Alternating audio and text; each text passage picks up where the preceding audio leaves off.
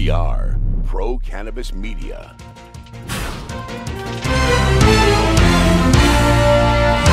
Hi, everyone. Welcome to another edition of Weed Talk News.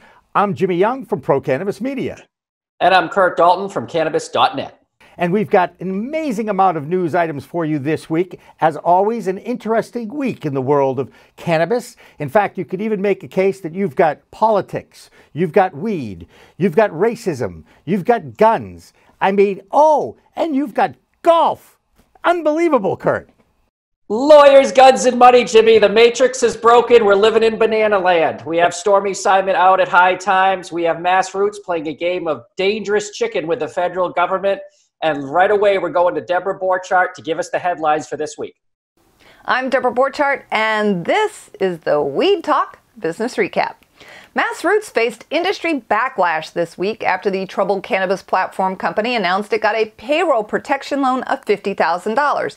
A lot of people pointed out if you earn income from plant touching cannabis companies, you can't actually get this loan. There were demands in social media that the company return the money, but so far CEO Isaac Dietrich has said no. Iconic cannabis publisher High Times reported that its CEO Stormy Simon resigned and was replaced by former Green Growth Brands CEO Peter Horvath. This is the third CEO in just one year for the company. Cannabis REIT Innovative Industrial Properties reported first quarter revenues of $21 million and net income of 11 million. The company also said it is deferring rent for some of its tenants due to the COVID crisis. And finally, analytics firm BDSA said that sales increased in March despite the pandemic for all the legal states except Nevada and Massachusetts. Nevada because it lost the tourist crowd, and Massachusetts sales fell because the governor closed recreational dispensaries.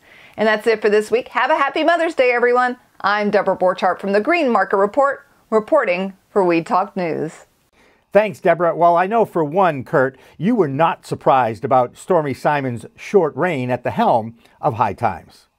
No, not at all. Uh, unfortunately, she's a very nice person and seems like a good human being. Uh, we had done that interview in February uh, that we published, and she just didn't seem like a good fit. And we questioned whether she was getting set up for something like this. Was she go walking the glass cliff, as it's referred to, for a female or a minority to be appointed CEO at a very trying time in a company's history? In order for if something bad was coming, maybe the punishment or the criticism would be lessened if you had a female CEO or a minority CEO. And unfortunately, Stormy's out after only three or four months, and we'll have to see what happens with their IPO in the future. And she has not told her side of the story as far as you know yet, right? Uh, as according to I, from what I hear, she's going to wait a month and then talk to people. But she did uh, put out a uh, post on her LinkedIn. That was a meme. That was a little bit cryptic. But as far as an interview, she has not given one yet. And of course, what's up with this MassRoots story? Uh, you and I talked about this earlier this week when it first broke.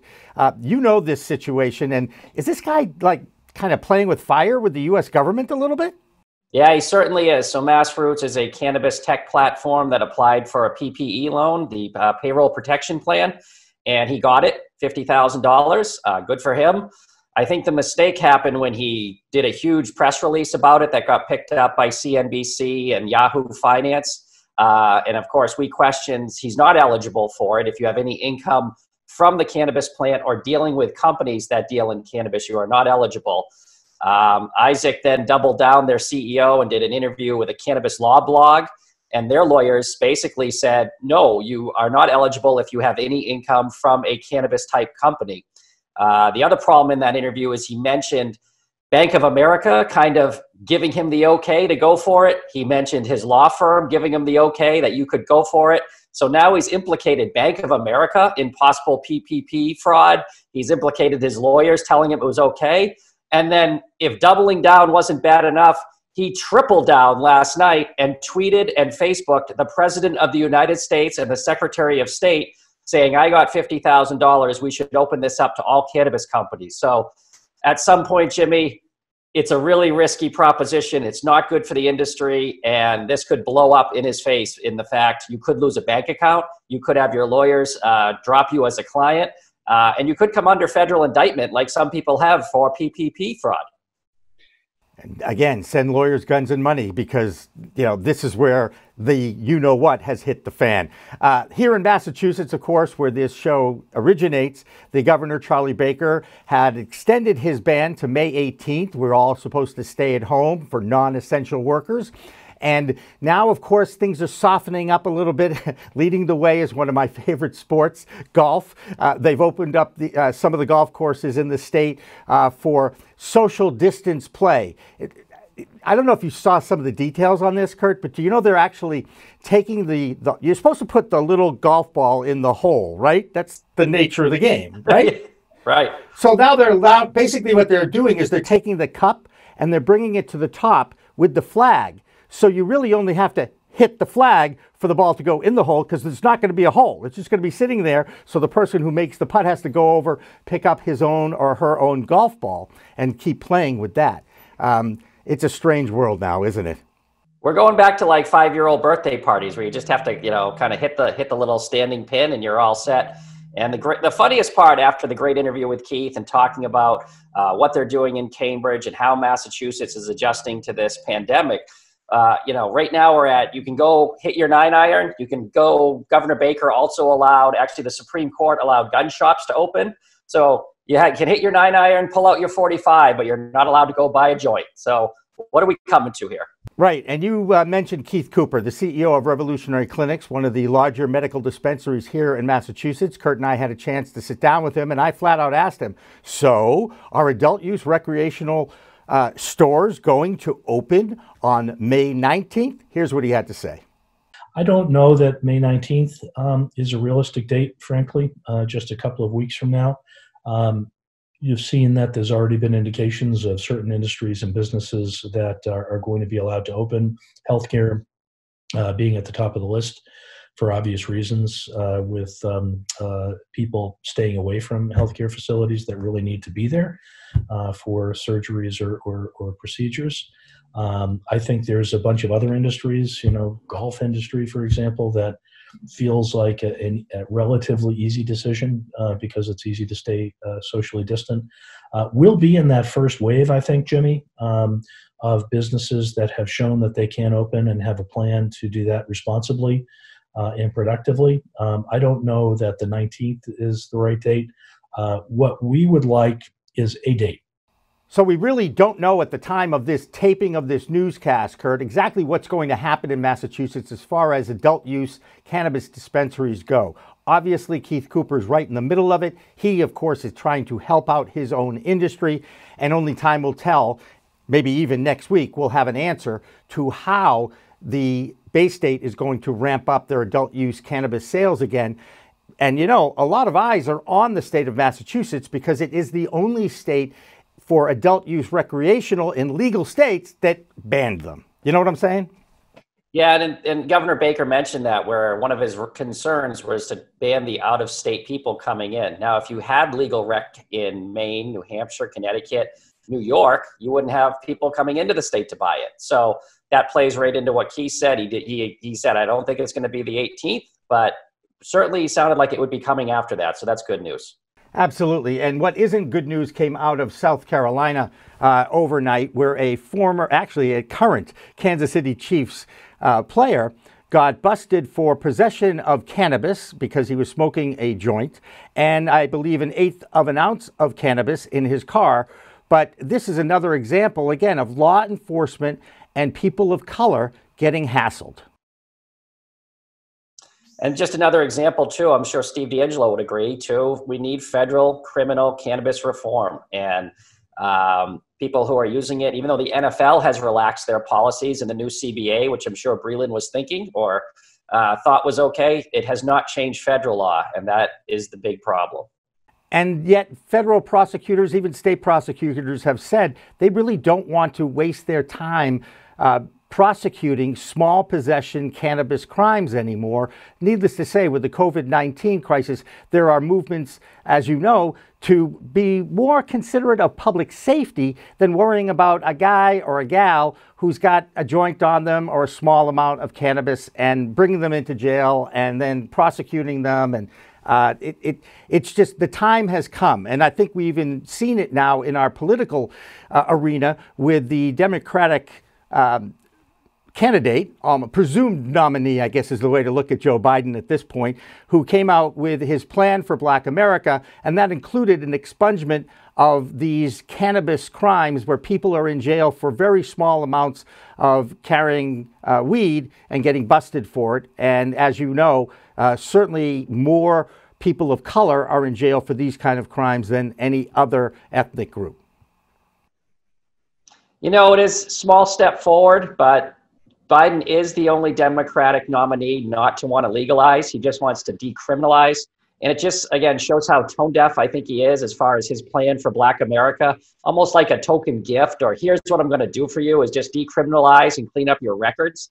We need someone that's going to step in, legalize it at the federal level, tax it, make sure the products are all safe, make sure people are doing it of you know over 21, and really clean up some of the illicit market. But Biden just seems to be tone deaf on his plan for Black America.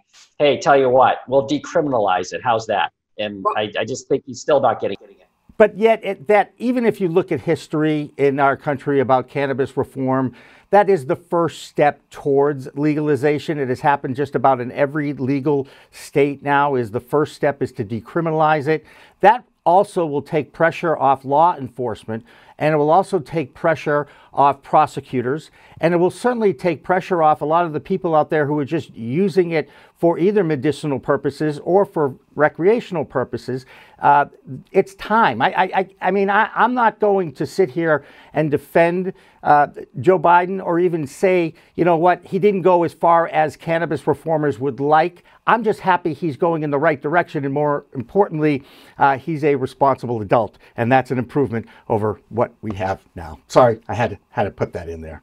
Um, it's certainly, it's certainly again, it's better than nothing. But when you have candidates like Yang and uh, Sanders who wanted full legalization, and you even had Warren there, I wish he would have, and I, you know, come more to the left on that. And even Bernie said out of the conversations he had to to get the endorsement from Bernie, you know, legalizing marijuana was a non-starter for him. So it, it doesn't look good. And we've talked about it on the show uh, for the next four years. Is Trump or Biden better just just for legalizing marijuana? And I think that's debatable, which is unfortunate. Well, I, I, think it's a lesser of two evils, and that's usually how it works on a presidential election when you get behind that curtain. Uh, a lot of people don't like either candidate, so they take the least objective candidate. And in, and in this case, um, let's just leave it at that. Okay, I think people know which side of the fence I lean on. Actually, it, it's so far left, it's ridiculous. But let's talk more about the cannabis industry on the whole here.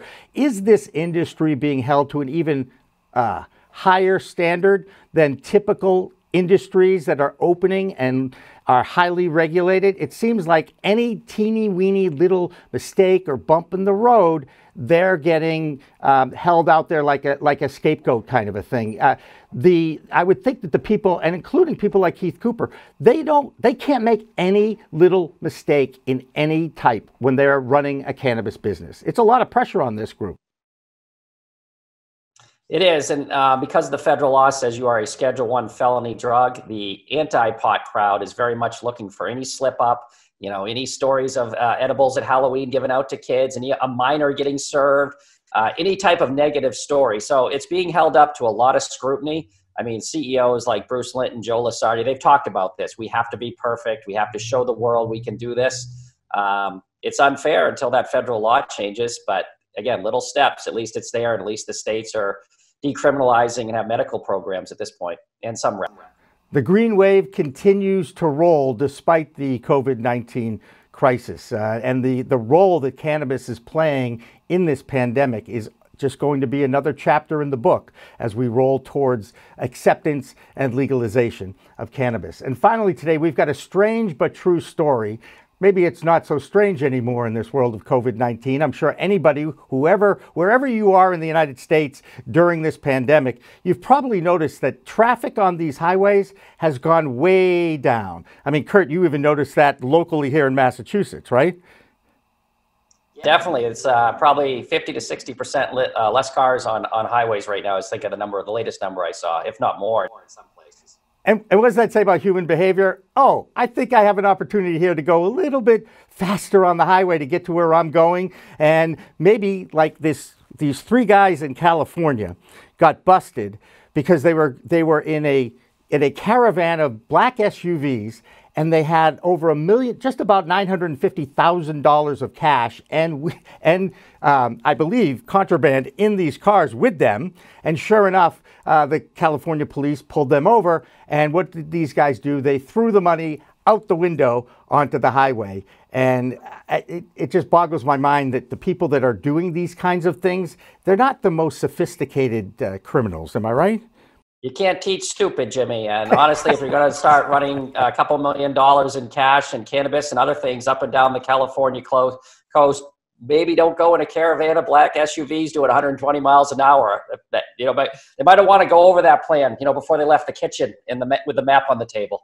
Absolutely. What they need is uh, like that guy, the professor in Money Heist, if everybody's watching that on Netflix, one of those binge shows. But anyway, needless to say, Kurt, another busy week in the world of cannabis. As always, uh, a pleasure to chit chat with you. We continue with our Weed Talk Now series, and we've got some really good guests coming up in the next few weeks. So for now, this is another edition of Weed Talk News. I'm Jimmy Young, the founder of Pro Cannabis Media. I'm Kurt Dalton from Cannabis.net. So that'll do it for another edition. Remember, it's a whole new world of weed out there. Use it responsibly. Talk to you next week.